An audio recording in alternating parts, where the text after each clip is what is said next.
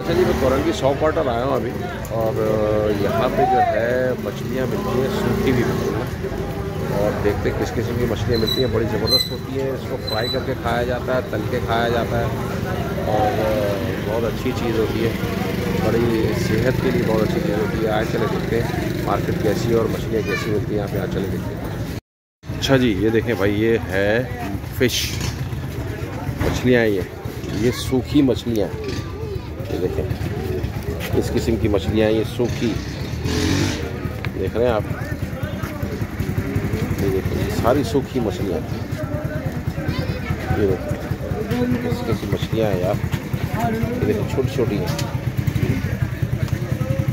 ये सब सूखी हैं। देखा ये देखो। ये सारी मछलियाँ हैं, बिल्कुल सूखी हैं ये। ये देखें। ये भी मछलियाँ। ये भी मछलियाँ।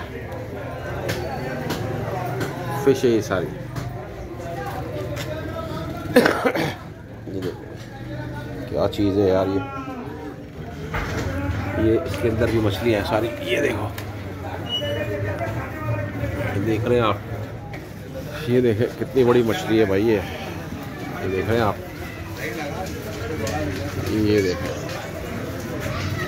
ये बड़ा यूनिक आइटम है।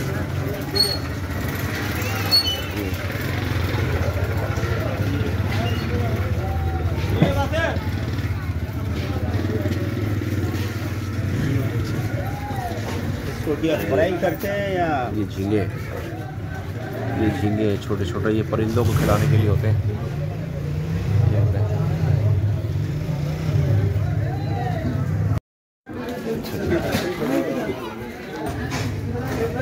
अच्छा ये जो मछली है ना, ये भाई, ये सूखी हुई मछली है और इसको जो है खाया जाता है फ्राई करके। सारी सूखी, छोटी सी मछली।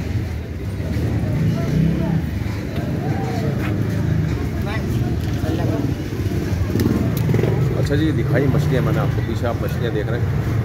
बड़ी ज़बरदस्त मछलियाँ होती हैं ये, इसको सुखाया सूखी हुई मछलियाँ हैं ये।